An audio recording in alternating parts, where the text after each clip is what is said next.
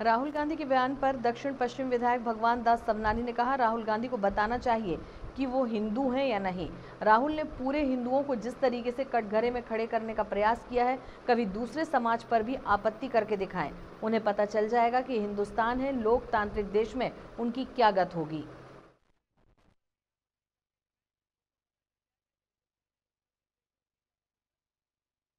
शब्दों का इस्तेमाल राहुल गांधी ने किया है। राहुल गांधी को बताना पड़ेगा कि वो हिंदू है कि नहीं।